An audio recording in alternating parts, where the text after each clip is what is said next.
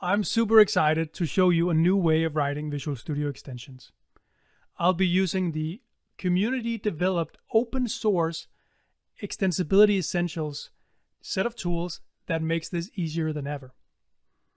It's a simple extension that I just install into Visual Studio and that's all I need to get going.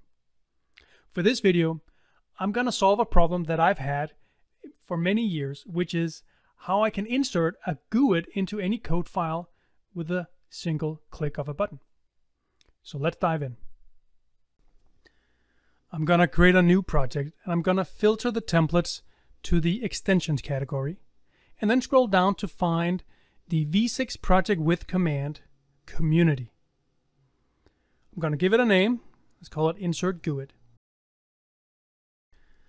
My VSIX project is now created and I can start exploring the different files. Let's look at the VSIX manifest. This is where the metadata around my extension is all stored.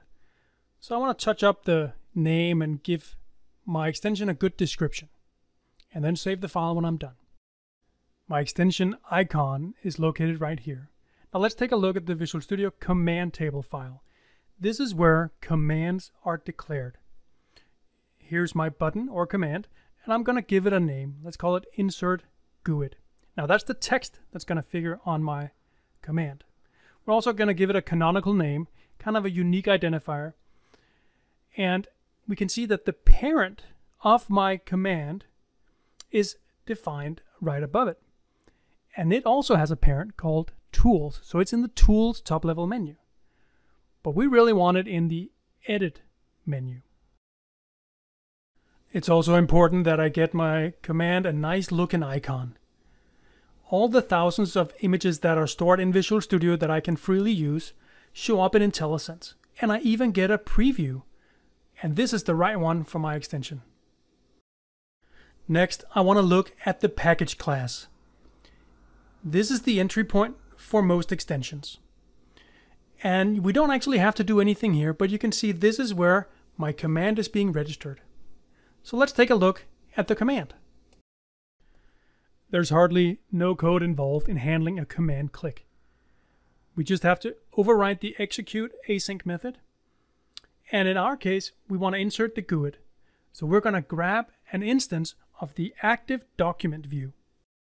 Next, we want to get the text view selection so that we can insert the GUID on top of whatever is selected.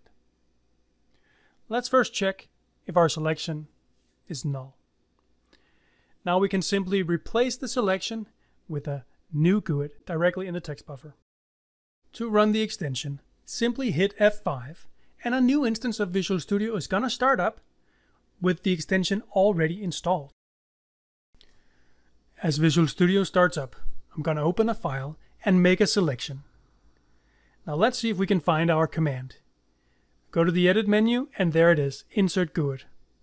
Clicking it will insert a new GUID on top of our selection, just like the code we wrote. The output of an extension project is a VSIX file. It's located in the output folder. This is the file you'll upload to the marketplace or send to your friends and colleagues. So that was an example of a simple yet very useful extension that was easy to write with the Extensibility Essentials tools. So make sure you go ahead and download and install those. And I can't wait to see what extensions you're going to write.